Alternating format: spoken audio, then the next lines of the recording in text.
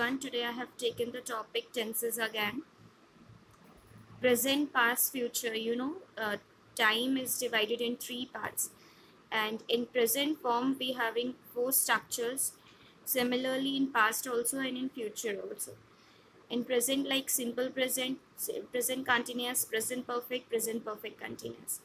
Same way in past also. Simple past, past continuous past perfect past perfect continuous. Future also. Simple future future continuous future perfect future perfect continuous. So each is having a structure each having structure rules verbs. so here the basic task is to learn the correct form of verb.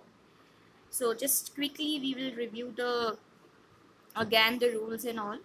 So simple present. Now we will do the comparative study here like simple present I'll write here and simple past and then simple future.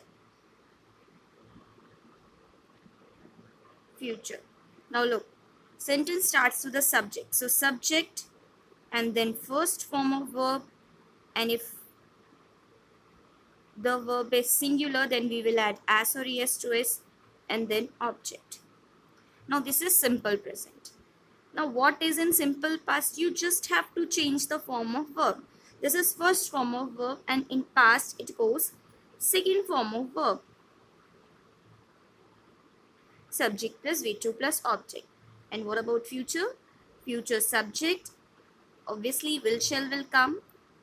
Will shall to indicate in future and then first form of verb and then object. So what we have to learn here basically this subject V1 SOES V2 will shell plus V1 and negative. Negative is very important because there is a little difference in this first form. So it is first form while making a negative we will make a negative by using do does not and then the verb should be first form of verb and then object. So what we have to write here? Do, does, not, V1. Now what about past? Similarly, subject. In present, if we are using do, does, then in past we have to use did in place of do, does. Not and then first form verb, first form of verb in affirmative only in positive structure only second form of verb comes to uh, take it as a past form. But in uh, negative we already have written did. It is a second form past form. So it goes in past form. Now main verb should be in first form and then object. And what about in future? Subject plus will shall.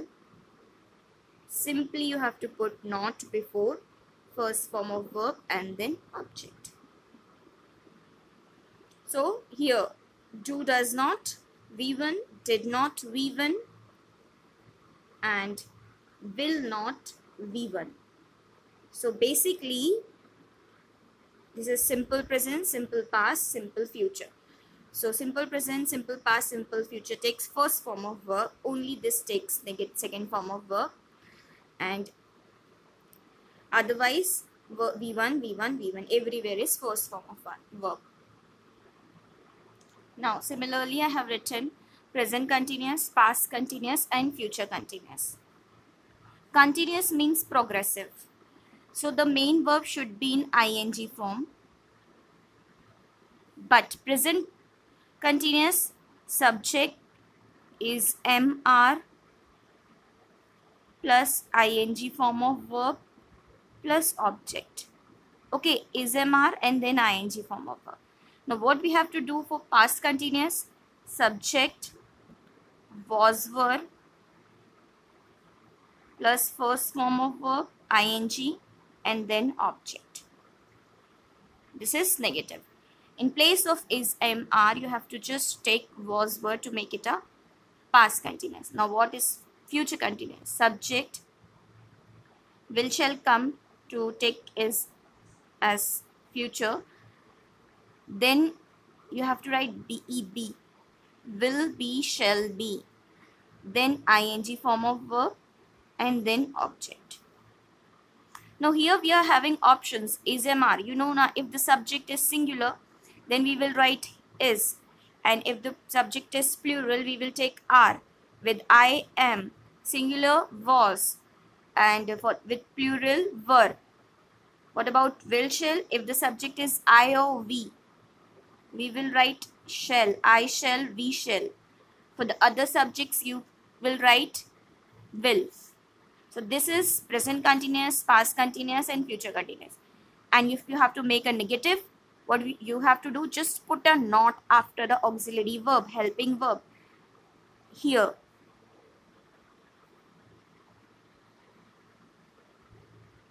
here. Like I am not writing a letter. I was not writing a letter. And what about future? I shall not be writing a letter so this way you will make a negative.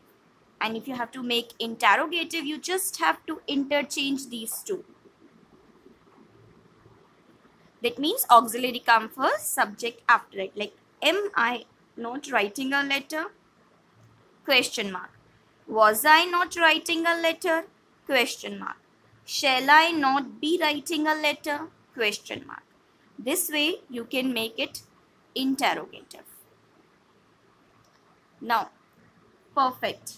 Present perfect, past perfect, future perfect. Now remember one thing.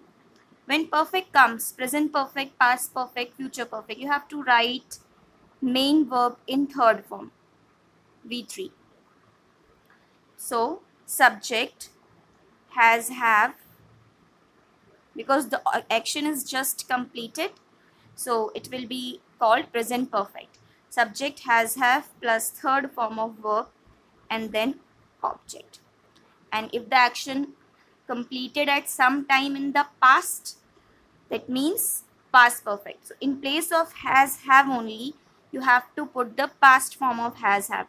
What is the past form of has have? Had. So subject plus had plus V3 plus object.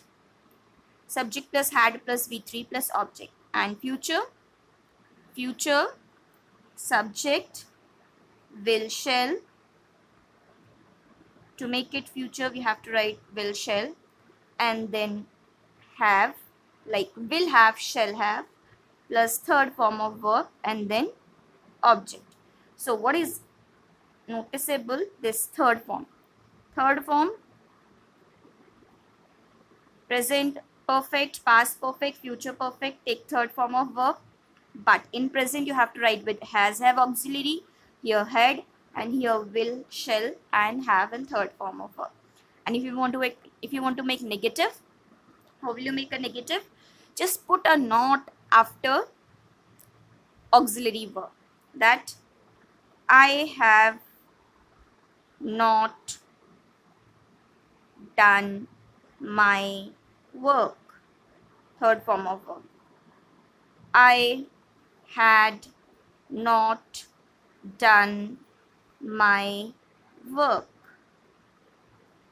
I shall not have done my work.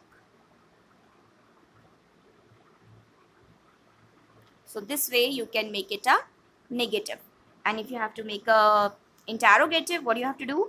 Just interchange. Have I not? Had I not? Shall I not? And question mark. Now present perfect continuous, past perfect continuous, future perfect continuous. So perfect continuous, perfect continuous, perfect continuous. If the action has started sometime in the past and still continuing, that is called present perfect continuous. If the action has started that time, uh, sometime in the past and continued to that time, but continued to that time means not to this time, not to present. So this is called past perfect continuous and the action has started sometime in the past and will continue in future. That means that will be future perfect continuous. So what is the rule? Subject because it is perfect we have to write has have been and continuous. So it will take ing form of verb and then object. And in this tense we mention a time because we have to mention at what point of time the action has started and still continuing. So we will write since for plus time. So if the time is point of time exact time is given then you will write since if the period of time is given then you have to write for now subject has have been ing form of verb object since for time now what you have to make uh, do to make it a past perfect continuous just write the past form of has have. What the past form of has have? Had, been, then same ing form of verb, object, and then since for, and then time. And here to make it a future, subject, will shall will come.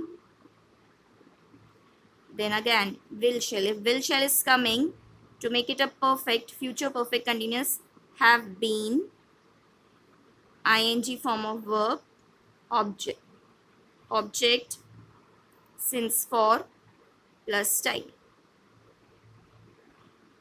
so to make it a negative just put after auxiliary not. Has have not been had not been and will not have been. Okay? So this is the basic rules of the tenses. Try to learn the rules as soon as so that you can easily understand the exercises